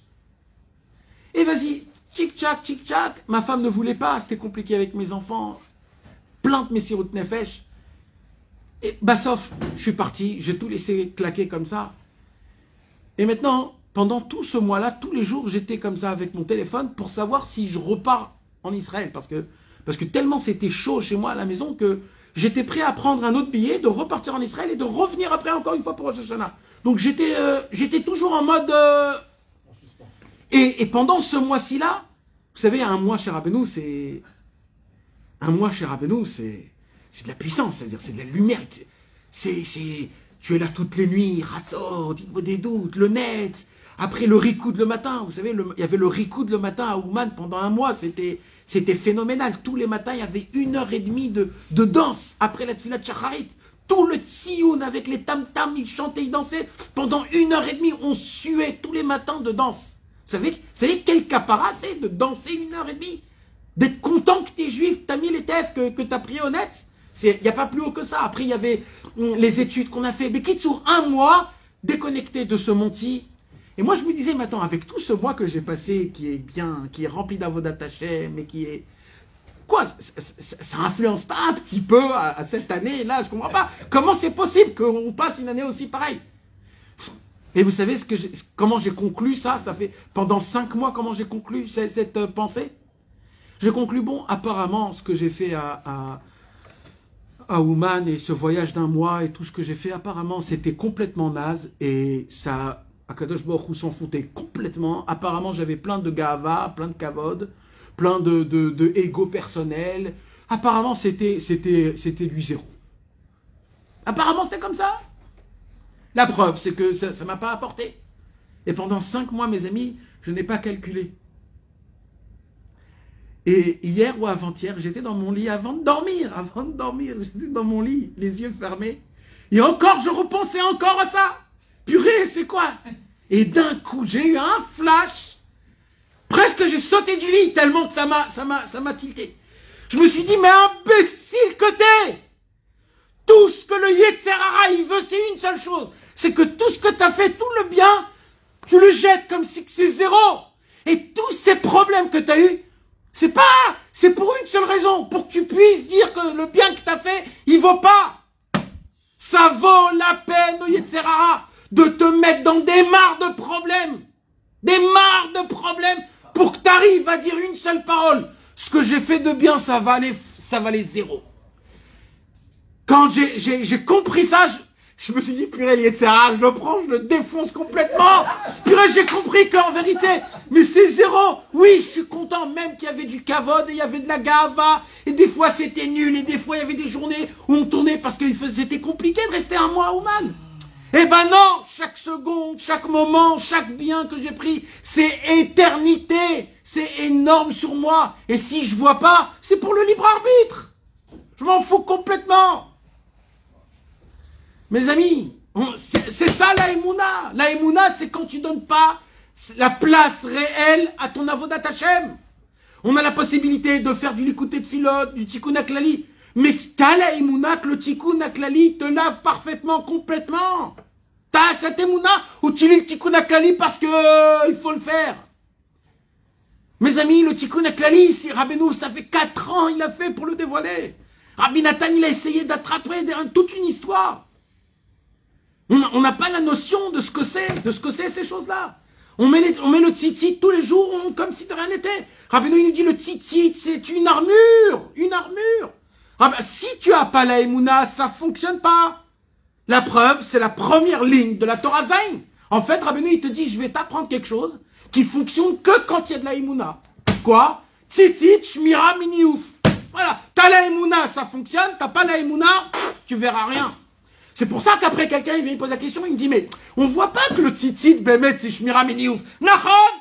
Parce que tu manques des Mouna Renforce-toi dans la Mouna, tu verras comment le tzitzit Bémet il fonctionne. Et moi je suis tombé dans le piège en lui disant ouais t'as raison. Ma Renforcez-vous dans la. Kol mitzvotecha Emouna. Les La mitzvah, elle fonctionne quand t'as de la. C'est quoi la différence entre le monde orthodoxe aujourd'hui, light, hum, le monde et, et, et nous C'est quoi? Pourquoi Rabbeinu, il est venu? Rabbeinu, il est venu pour nous rendre un cœur en chair. Lève, bassar, pas un cœur en pierre, un lève even. C'est quoi un lève even C'est quoi un cœur de pierre? Un cœur de pierre, c'est quelqu'un qui applique le Shulchan comme un robot. On rentre dans une routine et on fait Sharak Minravi, Mikve, Dafayomi, Tatata. Et voilà, voilà, tu vis ta vie. Rabbeinu, il dit, mais, arrêtez d'être des zombies, arrêtez d'être des morts vivants. Soyez avec de la vitalité, de la rayou, de la itlavut. C'est quoi le signe, le premier signe de tout? C'est la Emouna. Emouna, c'est Seder Zraim, Emouna, c'est ça qui te fait pousser. Moi, toujours, je me suis posé des questions avec tout ce qu'on étudie, avec toutes les prières qu'on fait, avec tous les mitzvot qu'on fait, comment c'est possible? Hmm, qu'on ne devient pas des anges? Ben mec, je me pose la question. Comment on ne devient pas des anges? Comment on n'a pas des puissances comme les tzadikim de la Gemara? Comment on n'arrive pas à arrêter le soleil? Je mets les téphilines, frère. Je mets les téphilines, c'est la couronne de Dieu. Rabbeinu dit, les téphilines, c'est la couronne de Dieu. Qu'est-ce qui se passe si moi je vais en Angleterre et je mets la couronne de Madame Elisabeth? C'est moi là, c'est moi le roi. C'est celui qui a la couronne, c'est moi le roi. Vrai ou faux? Alors, je mets la couronne de Hachem chaque matin, les téphilines. Vous croyez que je n'ai pas la possibilité? J'ai la possibilité de tout faire. Alors comment j'arrive pas Je manque des mounas. Je, manque des mounas. Béhémet, j'y crois pas. J'y crois pas. Il faut se renforcer dans la mouna, Béhémet. Tout dans les actions, dans la tfila. Vous imaginez qu'on a la possibilité de faire bien, de faire bien, de faire bien, mais comme il te manque de la mouna, ça fonctionne pas. C'est comme une plante, c'est comme une, semence, tu mets par terre et, et ça fonctionne pas.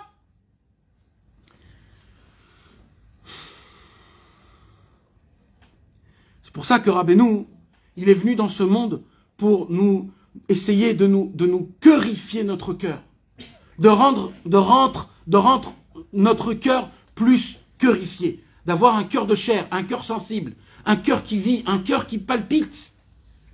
C'est ça l'essentiel, c'est de faire les mitzvot avec du regesh, avec de la, de l'enthousiasme, avec de l'assentiment. Même avec une kavana, je fais ça Hachem parce que je veux me rapprocher de toi. Encore une mitzvah Baruch Hashem. Encore une mitzvah Baruch Hashem. Vous savez qu'il y avait des tzadikim qui comptaient les mitzvot. Vous savez qu'on peut faire des mitzvot de Horaïta chaque instant. On peut faire chaque instant des mitzvot. Par exemple, si tu te rappelles de Shabbat, rien que de se rappeler de Shabbat, mitzvot est assez de Horaïta. Rien que tu te rappelles de Shabbat. Donc tu marches dehors, tu peux être un rachat ou un tzadik gamour. Comment tu peux être un rachat ou un tzadik gamour? Si tu laisses tes yeux faire comme ça et regarder à droite, à gauche, t'es un rachat gamour. Par contre, si dehors, tu es là et tu dis dans ta tête, voilà, Kadosh Baruch nous a demandé le septième jour, Shabbat Vainafash. Je me rappelle du Shabbat Kodesh, Zachor et Tiom, Shabbat et Kocho. Rien que tu te rappelles du Shabbat, c'est terminé. Maintenant, si tu te rappelles de Amalek, aussi tu fais une mitzvah de Horaïta. Et, et si tu te rappelles du Arsinaï, tu te rappelles qu'Akadosh Baruch nous a donné la Torah au Mont Sinaï. Rien que de se rappeler ça, tu fais une mitzvah de Horaïta. Encore une mitzvah, encore une mitzvah. Il y a tellement, mes amis, a- si on cherche, et pourquoi tu veux faire des mitzvahs comme ça? Vous savez que Rabbeinu, il avait une fille. Cette fille, elle s'appelait Sarah. Sarah, hein, il a dit des louanges sur sa fille inimaginables. Il a dit, il a donné des louanges à toutes ses filles. Elle, elle est comme ça, elle est comme ça, elle est comme ça. Et quand il est arrivé à Sarah, il dit, elle, j'en parle même pas. Il n'a rien dit sur ça. Elle, tellement elle était. Un jour, on a posé la question à, Rabbeinu, qu'est-ce qu'il y a de spécial. Il dit, ma fille, quand elle sort dehors, elle a qu'une seule chose dans la tête. Comment je peux faire plaisir à Hachem encore? C'est que ça. Chaque seconde dans sa vie, c'est comment je peux faire plaisir à Hachem. Comment? De boire de quelle manière? Comme ça, ou comme ça, ou comme ça. Tout d'essayer de faire plaisir à Akadosh Baruch Rabbeinu, il a pris cette chose-là, la volonté d'un homme de vouloir faire plaisir à Hachem, il a pris ça et il l'a mis au niveau le plus haut de, tout, tous ses enfants. Ça veut dire, si tu poses la question à, à c'est quoi un tzaddik pour toi? Rabbeinu, il va pas te dire euh, des kavanot, des yehoudim, et tadada. Rabbeinu, il va dire, c'est très simple. Si, si chaque seconde dans ta vie, t'as qu'une seule chose dans ta tête, c'est vouloir faire plaisir à Kadosh Hu. Comment tu fais? Tu fais, tu fais pas. Rien que le fait d'y penser, d'être là-bas, tu es mamache dans le Inyan. Ça s'appelle de la Emouna. La Emouna, c'est quand tu vis à Kadosh Baruch Hu Mamash. Maintenant, le tzaddik authentique, Rabbi Nachman de Breslev, lui, il connaissait déjà tous les chemins de tous les tzaddikim. Et il a vu que tous ces chemins-là ne peuvent pas nous aider actuellement pour nous aujourd'hui. Et ça, c'est un vrai problème. Alors, comment on fait pour s'en en sortir? Rabbeinu, il a dit, je suis monté dans les niveaux les plus élevés dans le ciel, j'ai demandé, supplié, crié, pleuré à Kadosh Baoru, dévoile-moi la Torah, la Torah du Mashiach, la Torah ancienne que tu caches, qui est à côté de toi, la Torah Tikastima. Je veux connaître c'est quoi le Otsar Matnatrinam, je veux connaître c'est quoi le Yehush, je veux savoir si le désespoir il existe ou pas. Je veux connaître c'est quoi la Simcha, le Tikkun la Shmirat Abrit. Dévoile-moi tout. Rabbeinu, il était têtu. Rabbeinu, quand il apprenait quelque chose, il oubliait, il arrivait devant Hachem, il disait Hachem, je connais rien. Hachem lui dit, mais je t'ai déjà dévoilé un secret énorme. Il lui dit, oui, mais je me rappelle pas, donne-moi un nouveau. Il lui donnait un nouveau. Il oubliait, il revenait chez Hachem. Il dit, Hachem, donne-moi un nouveau. Il dit, mais je t'ai déjà donné un plein. Il dit, je me rappelle plus de rien. Je veux tout neuf. Un Irotzelot Yehudi. Zaken Iliot Yehudi, un jour, Rabbi Nathan, il est rentré dans la maison de Rabbeinu. Et sans faire exprès, il a ouvert la porte là où Rabbeinu, il était dans sa chambre personnelle intime. Et sans faire exprès, il a vu que Rabbeinu, il était en train de faire Idbo des doutes. Vous imaginez, vous, comment Rabbeinu, il fait Idbo des doutes? L'homme qui a, qui a dit de faire Idbo des doutes, qui a mis le doigt qui a dit Idbo des doutes, il m'a là, il est là, comment Rabbeinu, il faisait Idbo des doutes? Il était par terre, par terre allongé, en train de regarder Hachem et le supplier en lui disant Ribono Shelolam Zakeni Liot Yehudi. Rabbi Nathan, quand il a vu, entendu ça, il a dit Mon cœur a arrêté de, de battre. Rabbeinu, il dit Zakeni Liot Yehudi Donne-moi le mérite d'être juif. Mais Rabbeinu, il a atteint le, les, les niveaux de tzadikim comme on peut même pas s'imaginer. Avant encore de voyager en Eretz Israël, en Eretz Israël, il a battu son Yetzerara. Rabbeinu, il a dit, à l'âge de 20 ans, j'ai fait la shrita du Yetzerara, il n'y avait plus rien comme Yetzerara.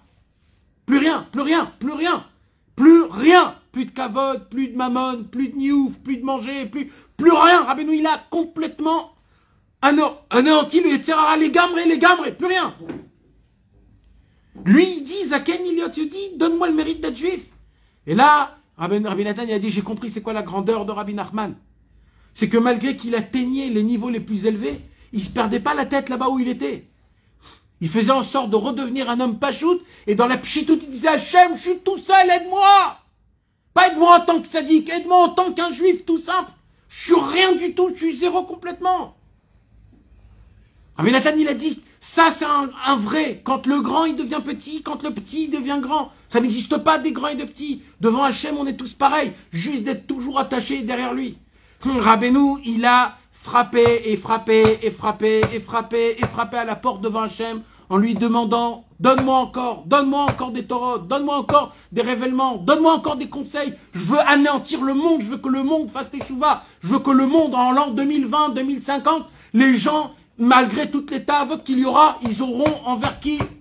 Allez Ils auront envers qui entendre? Et il a réussi. Mais maintenant, avec tout ça, si c'est nous qu'on a, on a la flemme d'ouvrir les livres, alors là, on n'est pas sorti de l'auberge. C'est pour cela, mes amis, cette Torah, elle doit nous renforcer dans la Emouna. On doit faire les choses plus avec Emouna. De croire dans les paroles de Rabbeinu. Pas, pas comme si c'était une ségoula, peut-être oui, peut-être non, un petit peu oui. Ça fonctionne et c'est que comme ça que ça fonctionne. Et je peux, j'ai pas besoin d'aller autre part. Je vais raconter une petite histoire.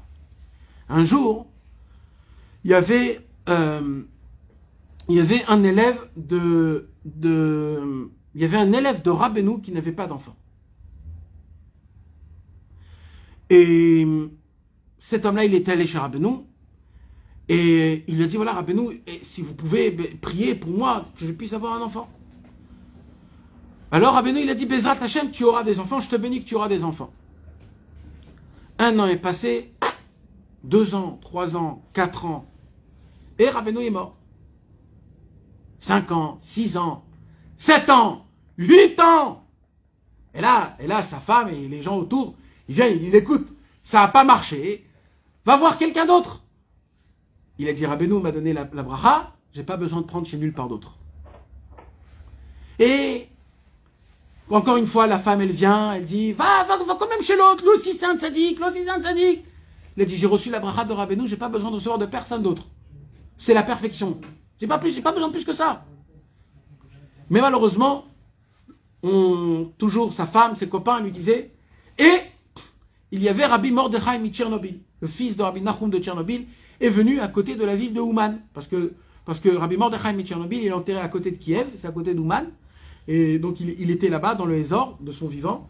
Et Rabbi Mordechai de Tchernobyl, c'était un grand, un grand sadique à l'époque. Et il y avait un mariage apparemment. Toute la ville est partie lui dire bonjour. Et lui aussi il est parti lui dire bonjour. Mais là, cette fois-ci, il y avait son ami à lui. L'ami de cet homme qui n'avait pas d'enfant, il est parti avec lui voir Rabbi Mordechai de Tchernobyl. Bon, Il s'est dit, je vais juste lui dire euh, Shalom Aleichem et je vais lui demander une bracha en général et puis c'est tout. Je vais pas lui dire mes problèmes.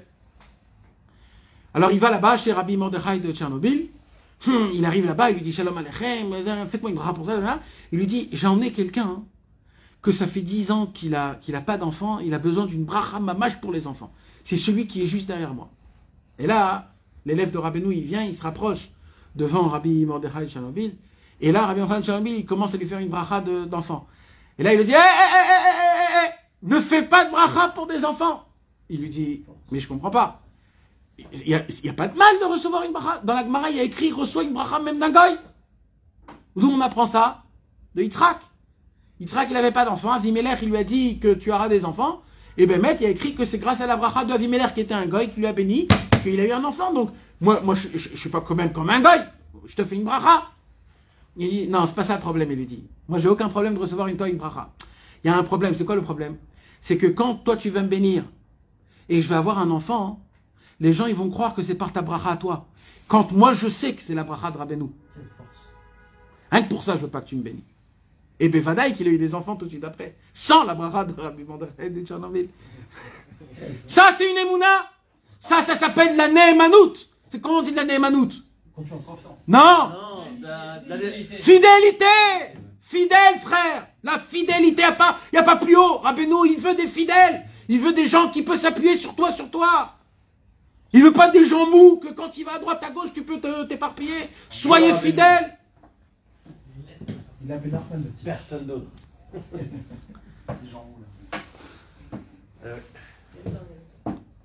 Maintenant, mes amis, on va arriver au point, au point important. Je reviens à la Torah, Torah Zayn, mes amis.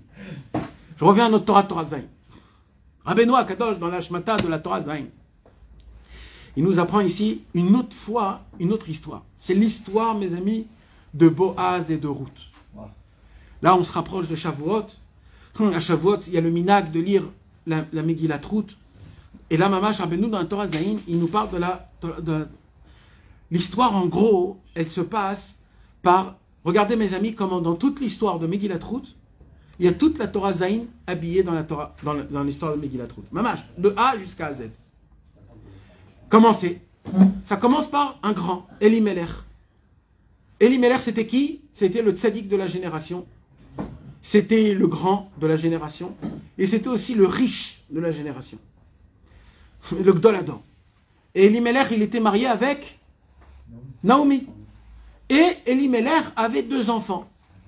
Deux enfants. Comment ils s'appelaient les deux enfants? Est-ce qu'on se rappelle? On se rappelle pas. Et c'était quoi leurs femmes Les femmes, c'était Ruth, Machlon et Chilion. Machlon et Chilion. Et leurs femmes, c'était... euh, ah, pardon, ils n'étaient pas mariés. Et il se passe quelque chose de grave, mes amis. Il y a une famine en Eretz Israël. Ça vous rappelle quelque chose? Ça rappelle Yaakov Avinu?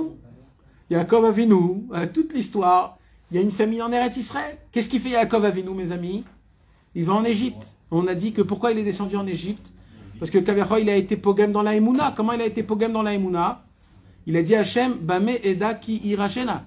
Prouve-moi que tes brachot vont être euh, sur moi. Dieu lui dit, prouve-moi. Prouve-moi. C'est un gamme de Emouna. T'as pas Emouna, t'as pas Nissim, t'as pas Tfila, t'as pas Eret Israël. Et là, on est descendu en exil. On a perdu la Tfila. On a dit la Tfila, c'est les 12, 12 tribus, qui sont, et 12 nous sortent de la Tfila. Et ils sont tombés où? La Tfila, elle est tombée en Galoute, en Égypte. Donc on a tout perdu. Et comme ça, tout le dégringlement. Avimelech, c'était pareil. Pardon, Elimelech. Elimelech, il était en Eret Israël. Et là, il s'est passé quoi? Il y a eu de la famine. Qu'est-ce qui s'est passé à la famine? Tout le peuple juif, ils viennent chez qui? Chez Elimelech. Elimelech, il était très très riche. Il avait la possibilité de maintenir les pauvres d'Eret Israël, mais il a fait un calcul. Elimelech, il a fait un calcul, un pgam de Emouna. Il a dit, c'est vrai que j'ai de l'argent, mais si je dois donner de la tzedaka à tout le monde, je ne vais plus être riche. Pas je vais manquer. Pas je vais manquer. J'aurai encore de l'argent, j'aurai de quoi vivre, mais je ne serai plus riche. Ça s'appelle un pgam de Emouna. Qu'est-ce qu'il a fait Elimelech Il a dit à sa femme Naomi, on part en Chutzlaretz. Et il est parti où? Il est parti, chas shalom, vivre dans le, le mal le plus, réservé, avec ses deux enfants, Machalon et. Et là, ça commence à dégringoler comment? Machalon et Chilion commencent à se marier avec des goyotes. Vous imaginez les enfants du Gdolador, le tzaddik. Il a un pgam, il prend sa femme, il prend Machalon et Chilion, et il la met ma mâche dans, le, dans, le, dans, dans la gueule du lion. C'était où? Euh, à Moab. Moab, ils sont descendus à Moab. Et là-bas, mes amis, il se passe quoi? Et là-bas, Kadosh Baruch Hu, il a dit, puisque c'est ça qui s'est passé, alors on, on va, on va, on- alors, alors ça peut pas continuer. Elimelech est mort, et Machalon et Chilion aussi sont morts. Ils sont mariés avec des nations interdites des nations interdites. Alors maintenant, ils se retrouvent les trois en même temps. La, la belle-mère et les deux euh, belles-filles. Naomi avec Ruth et, et Orpa. Orpa. Naomi, elle a tout de suite compris que ce qui se passe, c'est Akadosh Hu, en fait, qui leur a fait un... un- c'est son mari avec son gamme d'Emouna qu'elle est tombée.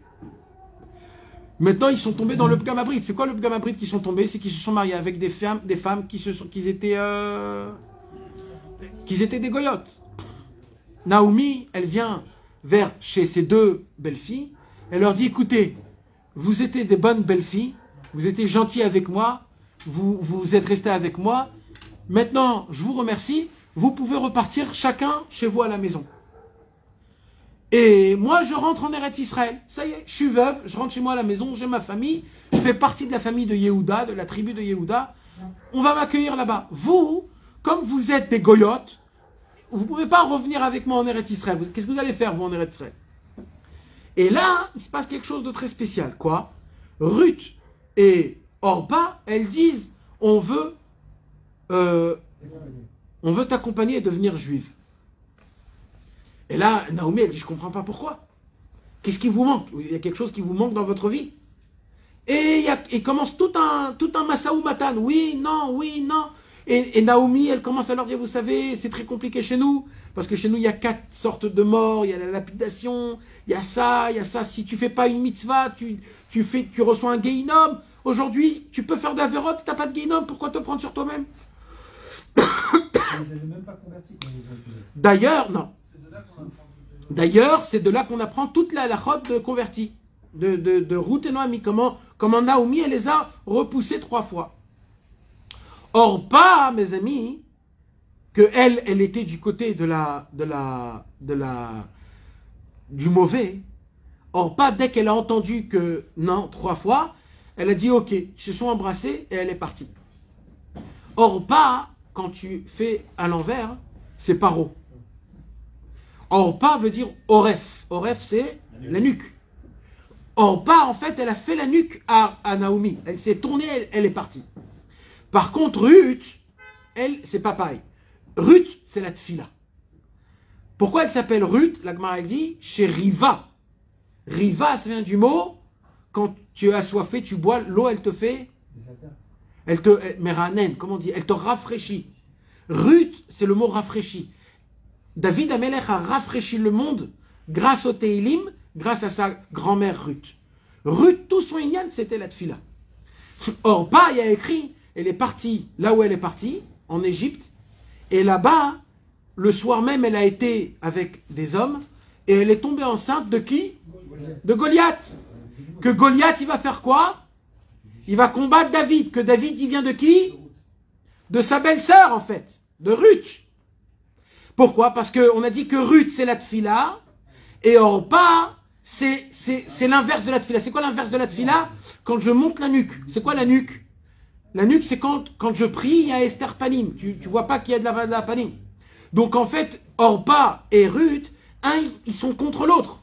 C'est Mamash Yaakov et Sav, un qui veut combattre l'un contre l'autre. Il veut combattre la tfila. Maintenant, Naomi, c'est qui Naomi? Naomi, c'est c'est la Torah. Naomi, c'est la Torah. Qu'est-ce qu'elle fait, Naomi?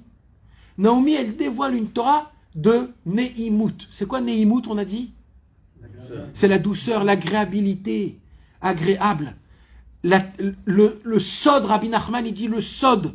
Quand tu dis une Torah, quand tu dévoiles, quand tu veux donner des conseils à quelqu'un, quand tu veux leur donner des enseignements, c'est que ça soit doux, que ça soit bon, que ça soit agréable, que ça soit bon à manger, à mâcher. Et le travail de Naomi était de rapprocher Ruth d'une manière qui soit agréable. Tout le travail de Ruth, c'est de rapprocher, de Naomi, c'est de rapprocher Ruth au tzaddik. C'est qui le tzaddik? Boaz. Qu'est-ce qu'elle fait Ruth? Naomi? Naomi, elle prend Ruth, elle dit maintenant tu vas monter à Yerushalayim avec moi. Il y a écrit que ce même moment ils sont montés à Yerushalayim, c'était quand ils sont montés à Yerushalayim? Tout de suite après Pessah. Qu'est-ce qui se passe après Pessah? C'est là où la récolte, elle commence à pousser. Elle a, elle a, elles étaient pauvres, ils n'avaient pas de quoi manger. Alors, qu'est-ce qu'elle dit euh, Naomi? Naomi, elle dit à Ruth, va là-bas. C'est quelqu'un dans les champs. Là-bas, il y a quelqu'un de ma famille, de la tribu de Yehuda, que il a remplacé Elimelech, il a remplacé mon, mon mari. Et c'est lui le roche adore. Et il s'appelle comment Il s'appelle? Boaz. Va là-bas, lui, il te donnera de quoi manger. Il va, elle, elle va là-bas, et elle a honte. Elle voit qu'il y a plein de pauvres qui viennent et qui prennent des épis pour manger, et elle, elle a honte. Boaz, il voit de loin que Ruth, elle, elle prend les pilles, les épis, d'une manière tsniout. Au lieu de se courber avec le dos, elle se plie avec les jambes. Parce qu'une femme, c'est plus tsniout pour elle de se plier avec les jambes que de se courber avec le dos. Et toutes les femmes, ils se courbaient avec le, dos. Et Ruth, c'était la seule que quand elle voulait prendre une, les épis, elle se pliait avec les, genoux. Alors, qu'est-ce qu'il a fait Boaz? Il a dit à ses, à ses, ses ses, ses travailleurs, il leur a dit, euh, dites-moi qui est cette fille, qui est cette femme. Et là, ils ont, ils ont fait des, des questions, des réponses, et ils ont dit, c'est Ruth, la, la belle-fille de Naomi. A dit, ah, c'est pour cela. Top. Elle rentre, Ruth, chez Naomi, elle lui donne les épis qu'elle a, a trouvés.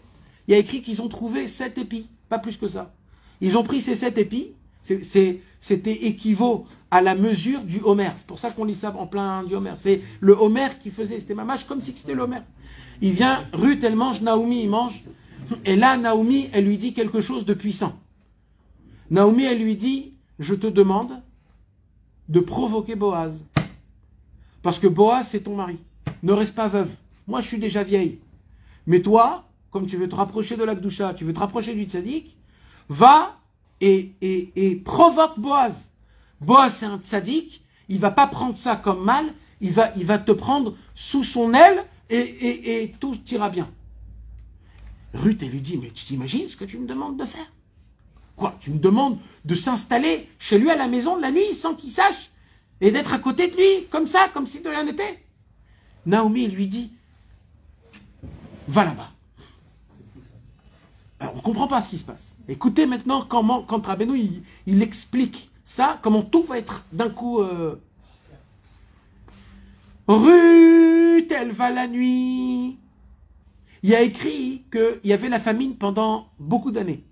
Et c'était la première fois qu'il y a une grande récolte. C'était la première fois que Boaz mange un repas normal.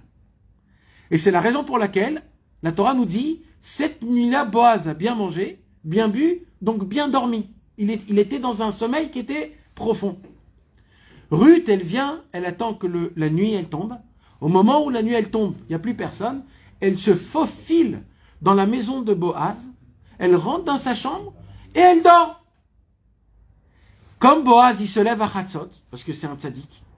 Tout de suite, il se lève à Chatzot. Et au moment où il se lève à Chatzot, il voit qu'il y a quelqu'un dans son lit. Et là, il dit, il y a écrit Vayechera Traradakdola. Boaz a commencé à trembler. Qu'est-ce que c'est que ce truc-là? Et là, Ruth dit une phrase que sans la Torah Zaïn, elle est incompréhensible. Ruth lui dit, mets tes habits et prends-moi sous ton aile. Comme ça écrit. Ça veut dire quoi? C'est osé, ça se dit pas. Comment il va recevoir ça? Il va lui dire dégage, qui tu es, je te connais pas. Il dit Rabbeinu, non. Comment c'est écrit en hébreu? Ou fecha al amatecha. Il dit Rabbeinu comme ça. Ruth a dit à Boaz, Boaz, quand une femme se tient dans ton lit, alors c'est sûr qu'il y a un Yetzerara qui est énorme. Énorme, énorme. Et là, comment tu vas faire pour combattre le Yetzerara? Je vais te donner un conseil. C'est quoi le conseil que je vais te donner, Boaz? Il y a écrit dans le Likutei Moharan Torah Zayin que le tzitzit, c'est Shmira Meniouf. Alors mets ton habit, parlait de quel habit? Du tzitzit.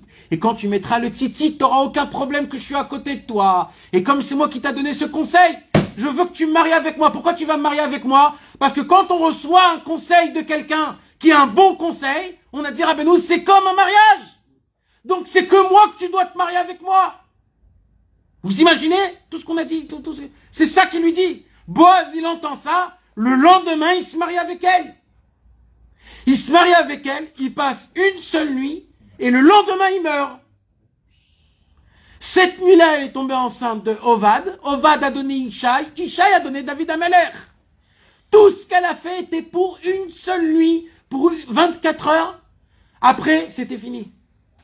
Pour attirer, comment on a attiré la Neshama de David? Avec un conseil du tzaddik, c'est-à-dire le zivoug.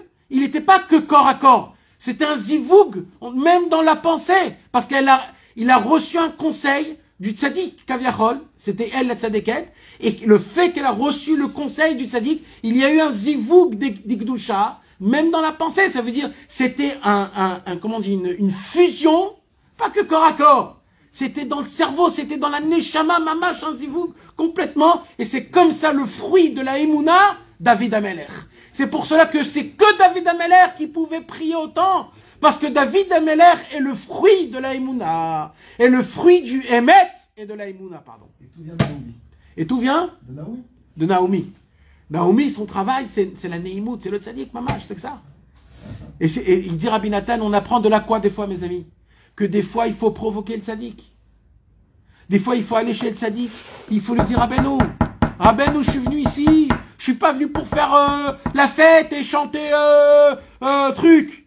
Je suis venu en Ukraine parce que parce que je suis malade et j'ai des choses à emporter. Dans les des doutes, il faut appeler, il faut provoquer des fois, avec kavod, avec respect, vadaï. Mais il faut provoquer en disant, bon jusqu'à quand je vais être sale? Jusqu'à quand je vais prier avec des pensées? Jusqu'à quand je vais voir des choses, je vais vouloir des mauvaises choses. Jusqu'à quand? Jusqu'à quand, Hachem, rappelez-nous et quand tu provoques des fois avec de la azoudik doucha, c'est pour ça Boaz, Boaz, c'est quoi Az? C'est l'audace.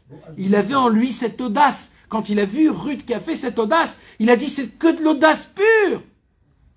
Et grâce à ça, le conseil du tzaddik, il a été appliqué. Toute la Torah Zayin, elle a été appliquée. Et c'est comme ça que David Ameler, il est né. Vous voyez ce que c'est de recevoir un conseil d'un tzaddik? Mes amis, quand on reçoit un conseil du tzaddik, on fait naître des neshamot, non, on ne sait pas. Ruth, elle n'a pas vu David. Elle n'a pas vu David, Ruth. Mais elle avait la imuna, que, le, que ce qu'elle a fait, ça va faire naître une neshama qui va dévoiler la tfila dans le monde. Et on a dit que la tfila et la c'est un qui va avec l'autre. David est né de la donc il a donné la tfila dans le monde, il a fait les teilim. Et c'est lui qui a acheté le Beth Amikdash. Il a acheté le terrain. Et son fils a construit le Beth Amigdash. Tout ça, c'est le fruit de la Ça vaut pas la peine, mes amis, de se renforcer dans la On dit qu'elle a le mérite de vivre très longtemps. Et que Ishatraïl a été fait à son nom. Pour route, sur route. Elle avait vécu et euh, Shlomo a vu même route. Il a vécu 200 ans. Je sais pas combien. Mais on avait vu ça dans ce livre. Je ne m'en rappelle plus vraiment. Elle a vécu longtemps et que Ishatraïl en a fait aussi en son nom. Aussi. Voilà, mes amis. Donc, donc ce qui nous reste dans la main actuellement, mes amis, c'est d'abord de comprendre ce qu'on a dans la main et de comprendre la puissance des tzadikim qui nous ont donné des conseils. Rabbeinu, il a craché du sang et ses enfants, ils sont morts pour que le Likud Moran soit dévoilé dans le monde, mes amis. C'est très grave quand on ne prend pas ça au sérieux, les, conseils du tzadik. On n'a pas besoin d'autres conseils. Mais on n'a pas besoin d'autres conseils. On a tout en nous ici. On est riche, on est riche, sans fin. Pas besoin d'aller chercher autre part. On a tout ce qu'il faut à la portée de la main. c'est comme un Shulchan Aruch, hein, une table qui est dressée où il y a tout. Il y a les entrées, il y a la première, la deuxième, troisième, et après il y a le quinoa, comment on dit, le dessert sucré, le dessert salé, le dessert, il y a tout, il y a tout dans la même table. Tout est déjà fait, tout est déjà il faut juste avoir la imuna, mettre dans ce qu'on fait. Quand tu mets la tzedaka, il faut avoir la imuna. Grâce à cette tzedaka, il y aura des choses qui vont se passer. Chaque prière, ça va me donner des puissances, des énergies, des- de la force, du nachat, des, et chaque, chaque chaque parole, chaque tikkun lali, chaque chose que tu fais, Rabbeinu, voilà, je me rappelle de toi, je suis là, j'ai la imuna en toi, je veux me rapprocher de toi, je veux tout le temps être connecté avec toi. Et ça, ça, mes amis, c'est la imuna. Et la imuna, ça fait pousser. Et la imuna avec le Emet, il n'y a pas plus beau zivoug que ça dans le monde en entier. Qu'Akadosh Baruch nous donne la force de toujours, toujours, toujours se sauver devant les livres et d'essayer de regarder, de voir et d'étudier les conseils. Même si c'est pas pour maintenant, pour plus tard, quand je vais être dans des mauvaises euh, euh, situations, je me rappelle que j'ai lu ça, il faut que je reprenne ça, il faut que je relis, je me renforce. Et Bezrat Hashem, grâce à la Emouna, on sortira de notre exil, chacun personnel, et Bezrat Hashem général, et le Mashiach viendra, et on se rapproche tous d'Akadosh Hu dans la Simcha et dans la Hava, Bezrat Hashem.